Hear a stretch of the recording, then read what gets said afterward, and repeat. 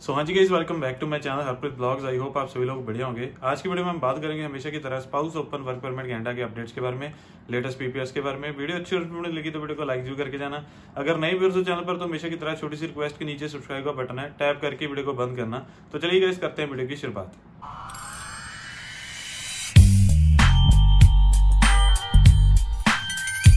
Guys आज की video की शुरुआत करते हैं हमारी पहली टाइमलाइन के साथ, जो 6 नवंबर 2021 की फ़ाइल है।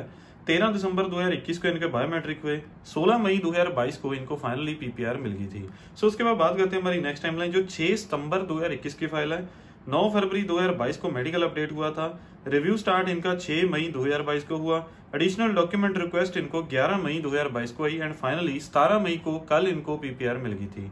सो उसके बाद बात करते हैं हमारी next timeline hello brother today I got PPR file log 1 November 2021 11 November 2021 को इनके बायोमेट्रिक हुए, मेडिकल पास अपडेट हुआ इनका 12 फरवरी 2022 को, एंड पीपीआर इनको 17 मई 2022 को कल इनको फाइनली मिल गई।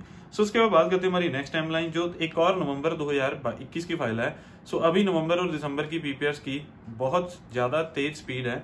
तेईस नवंबर 2021 की फ़ाइल है। बायोमेट्रिक हुए इनके 21 दिसंबर को। मेडिकल पास हुआ इनका 27 अप्रैल को। रिव्यू इनका पता नहीं कब हुआ बट 17 मई 2022 को फाइनली इनको पीपीआर मिल गई। सो so, उसके बाद बात करते हैं हमारी नेक्स्ट टाइमलाइन है। Everyone was waiting to write this post from 1.1 years PPR for SOW P plus kid visitor visa spouse की किड के साथ पीपीआर है। फ़ाइल लॉगिंग डेटा तीन अप्रैल 2021 की। बायोमेट्रिक स्पाउस के हुए थे 12 अप्रैल 2021 को। अपफ्रंट मेडिकल था इनका। रिव्यू स्टार्ट हुआ था इनका 26 अक्टूबर 2021 को। री मेडिकल बच्चे के लिए हुआ था अपडेट 18 फरवरी 2022 को। री मेडिकल स्पाउस का हुआ 5 मार्च 2022 को। एंड पीपीआर किड को मिली 11 मई 2022 को and correspondence letter for spouse 11 May 2022 को ही मिल गया था। एंड फाइनली स्पाउस को भी पीपीआर 17 मई 2022 को कल इनको मिल गया। सो so, उसके बाद बात करते हैं हमारी नेक्स्ट टाइमलाइन जो इकतीस अक्टूबर 2021 की फ़ाइल है। बायोमेट्रिक हुए इनके 6 दिसंबर को एंड अपडेट सेम डेट ही हो गई। मेडिकल अपडेट 11 फरवरी को एंड अपफ्रंट मेडिकल था इनका दिसंबर का।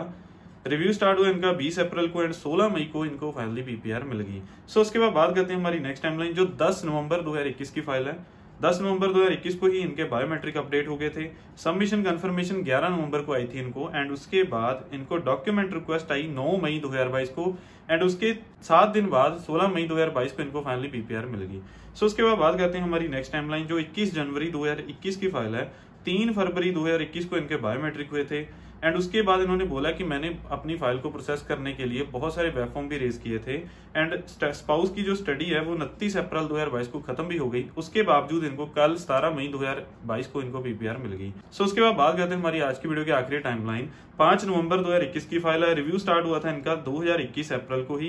एंड फाइनली सतारह मई 2022 को पीपीआर मिल गई। तो गाइस ये थी हमारी आज की वीडियो। अगर अच्छी लगी तो प्लीज़ लाइक करके जाना। आज की वीडियो का भी हम लाइक टारगेट 500 लाइक्स रखते हैं। अगर आप वीडियो अच्छी लगती है, रोज देखते हो डेली देखते हो लाइक भी करते हो तो प्लीज़ लाइक आज भी ज़रूर करके जाना। अगर आप मेरी वीडियो डेली देखते हो सब्सक्राइब नहीं किया तो नीचे सब्सक्राइब भी कर सकते हो। आप मुझे इंस्टाग्राम पर भी जाकर फॉलो कर सकते हो। हरप्रीत ब्लॉग्स मेरे अकाउंट का नेम है।